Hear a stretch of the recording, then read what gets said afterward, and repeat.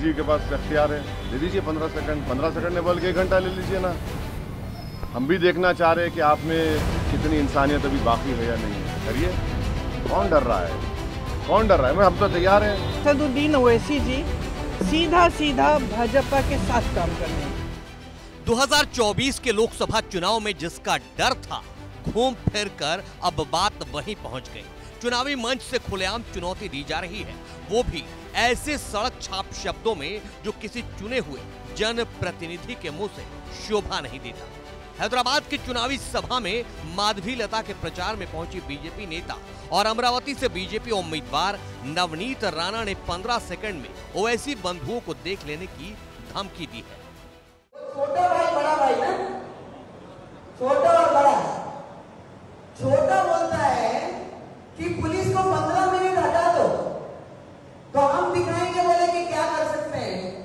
छोटे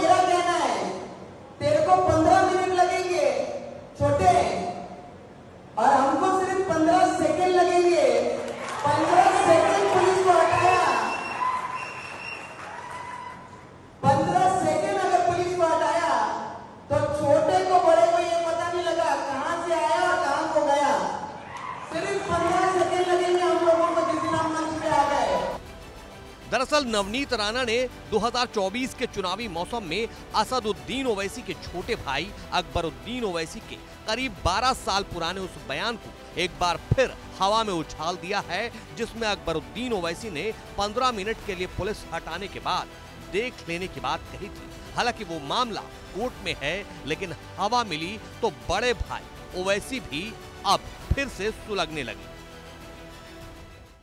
बिल्कुल बिल्कुल। मोदी जी को मैं बोल रहा हूँ कि पंद्रह सेकंड दे दीजिए आप। बिल्कुल पंद्रह सेकंड दे दीजिए। आप क्या करेंगे? अखलाक का हाल करेंगे? जैसा मुख्तार को किया, वही करेंगे? या पीलू खान?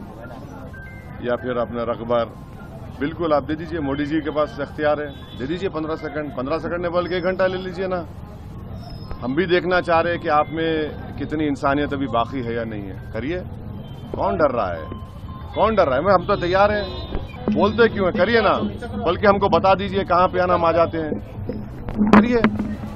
हिंदू मुसलमान की जुबानी जंग बीजेपी और ओवैसी में छिड़ी है, लेकिन कांग्रेस इस बार की लड़ाई किसी और ही मुद्दे पर ले जाना चाह रही है। वो संविधान बचाने का सवाल उठा रही है।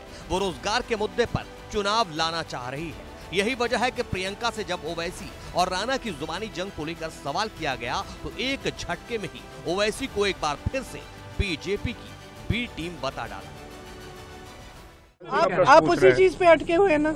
मैं बार बार आपको यही कह रही हूँ। असदुद्दीन ओवैसी जी सीधा सीधा भाजपा के साथ काम कर रहे हैं। जहाँ जहाँ भाजपा को ज़रूरत है कि वो किसी को खड़ा कर दे बाकी पार्टियों को पीछे रखने के लिए वो कर रहे हैं। ये बात बहुत स्पष्ट हो गई है। तेलंगाना के चुनाव में ये बात बहुत स्पष्ट हो गई है। आपको बता दें कि पिछले हफ़्ते भी नवनीत राणा ने यह कहकर विवाद खड़ा कर दिया था कि जो लोग जय श्री राम नहीं कहना चाहते, वे पाकिस्तान जा सकते हैं। महाराष्ट्र के अमरावती से निवर्तमान निर्दलीय सांसद राणा ने कथित तौर पर रविवार को गुजरात में बोलते हुए ये टिप्पणी की थी। आपको बता दें कि 2019 में नवनीत राणा ने निर्दलीय उम्मीदवार के तौर पर चुनाव लड़ा और जीत हासिल की। इस बार वो बीजेपी के टिकट पर अमरावती सीट से चुनाव लड़ रही हैं। भारत की बात, रोहित सिंह सावल के साथ, सिर्फ़ एबीपी न्यूज़ पर।